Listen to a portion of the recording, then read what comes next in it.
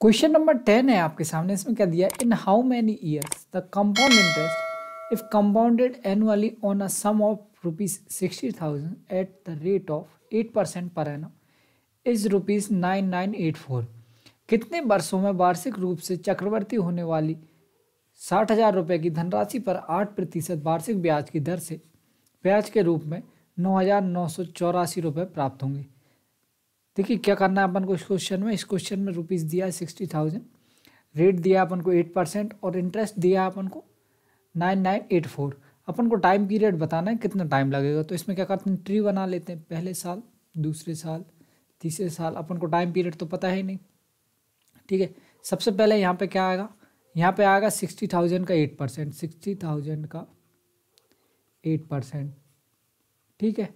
तो ये लिखते हैं कितना आएगा? ये दो ज़ीरो से, दो ज़ीरो कट जाएगा सिक्स एट जब फोर्टी एट और डबल ज़ीरो तो ये आ गया। सेकेंड ईयर में भी यही आएगा। थर्ड ईयर में भी यही आएगा। ठीक है फोर्थ ईयर में भी यही आएगा। पहले अपन चेक कर लेते हैं कहाँ तक हो जाएगा। तो मेरे हिसाब से अड़तालीस और अड़तालीस कितना हो जाएगा? Ninety six ninety six thousand हो गया। लगभग इसके आसपास पहुँच गया। तीसरे ईयर की अपन को ज़रूरत नहीं पड़ेगी। अब इस पर भी इंटरेस्ट मिलेगा कितना? एट परसेंट तो इसका एट परसेंट निकालेंगे कितना आएगा? Forty eight double zero eight percent, ठीक है? ये दो ज़ीरो से दो ज़ीरो कट जाएँगे और इसका एट में मल्टीप्लाई करेंगे, एट एट जा सिक्सटी फोर और एट फोर जा thirty two plus six thirty eight ठीक है, इसमें अगर थ्री एट्टी फोर जोड़ेंगे तो अपना जो अमाउंट चाहिए वो अपन को आ जाएगा, बिल्कुल आ जाएगा। अगर आप देखो तो नाइन नाइन एट फोर आ रहा है नाइन नाइन एट फोर अपन को चाहिए। मतलब कितना टाइम लगेगा?